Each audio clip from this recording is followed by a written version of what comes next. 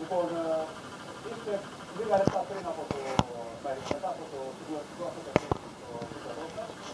Θέλω να σας πω βίωσες εσύ και η κυβέρνηση όλη αυτή, όλο αυτό το 90 λεπτό, 97 λεπτό περίπου, μέχρι να έρθει το πολιτικό στο επίπεδο. Να δώσω συγχαρητήρια στα παιδιά, κάνω μια προσπάθεια.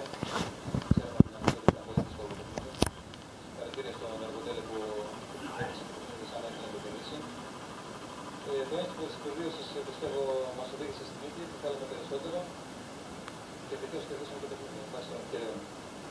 Τώρα ο Απόλλωνας το τρίποντο που ήθελε να πάρει στο σημερινό μας τα κατάφερε με το δικό του γκολ που καθυστερήσει. Τι γίνεται, δεν είστε έτσι. Παρισμένοι πάντα να φέρετε και το πάλι εδώ σε ένα μάτι με τον Ολυμπιακό που είναι μάτι το σκέτα. Ο πρώτος στόχος μας ήταν να φτάσουμε 36 πόντους. Από εκεί και πέρα εγώ πιστεύω ότι δεν, έχουμε, δεν ήταν το τελευταίο μας παιχνίδι και στον Ολυμπιακό να πάμε να πάρουμε κάτι από